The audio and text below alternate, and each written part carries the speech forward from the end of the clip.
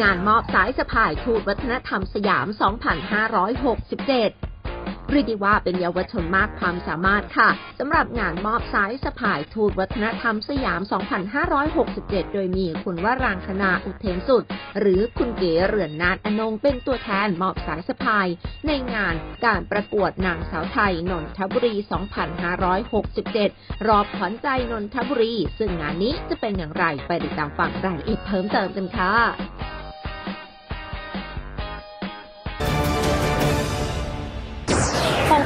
วัฒนธรรมสยามนะคะ ก็คือจัดทำขึ้นเพื่อให้น้องๆเยาวชนเนี่ยได้เป็นตัวแทนนะคะในการเผยแผ่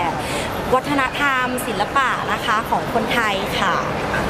สิ่งที่น้องๆจะได้รับนะคะ ก็คือได้รับการแต่งตั้งเนี่ยก็จะได้รับสายสะพายนะคะ ประจำตำแหน่งแล้วก็ในวันพรุ่งนี้เราจะมีพิธีการมอบมงกุฎนะคะ ให้กับน้องๆค่ะ สวัสดีค่ะหนูชื่อเด็กหญิงศิลปัญญาลักษณ์สิริจังกุลชื่อเล่นชื่อน้องติวเตอร์ค่ะ อายุ8ขวบค่ะ ก็หนูรู้สึกตื่นเต้นค่ะ แล้วก็มีความสุขที่ได้ทำด้วยค่ะ สวัสดีค่ะ หนูชื่อเด็กหญิงเจนดาสมเนธชื่อเล่นชื่อน้องของขวัญอายุ 9 ขวบค่ะ รู้สึกดีใจตื่นเต้นแล้วก็เป็นเกียรติมาก ๆ เลยค่ะ ที่ได้รับตำแหน่งนี้ค่ะ สวัสดีค่ะ หนูชื่อเด็กหญิงกชกรพลับนิน ฟ้าใสอายุ 13 ปีค่ะ ค่ะ วันนี้รู้สึกภูมิใจและเป็นเกียรติมาก ๆ เลยค่ะ ที่ได้รับรางวัลคือวัฒนธรรมสยามค่ะยังอยากเป็นเด็กหญิงอยู่นะไม่เป็นไรค่ะเลิกสก่อวันสดีค่ะนางสาวสุวพรภูอิทธินันท์ชื่อเล่นชื่อน้องสแตมป์อายุ 17 ปี สึกดีใจแล้วก็เป็นเกียรติมากๆ แล้วก็ภูมิใจในตัวเองที่ได้รับรางวัลทูตวัฒนธรรมสยามประจำปี 2567 ค่ะ แล้วก็ดีใจมากที่ได้เข้าร่วมงานดีๆแบบนี้ค่ะรู้สึกดีใจที่ได้รับเป็นตัวแทนทูตวัฒนธรรมแล้วก็รู้สึกมีความสุขที่ได้มาร่วมงาน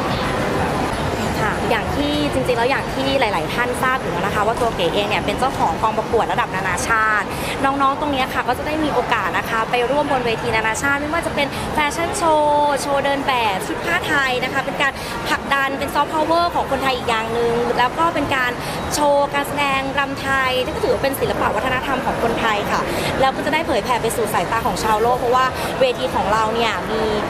ชางต่างชาติเข้าร่วมเยอะมากในแต่ละครั้งค่ะ รู้สึกภูมิใจค่ะ ต้องต้องบอกก่อนว่าโดยโดยพื้นฐานแล้วเนี่ยเราเป็นคนที่หลงรักเสน่ห์ของความเป็นไทยอยู่แล้วเนาะเพราะว่าตัวเก๋เองเนี่ยก็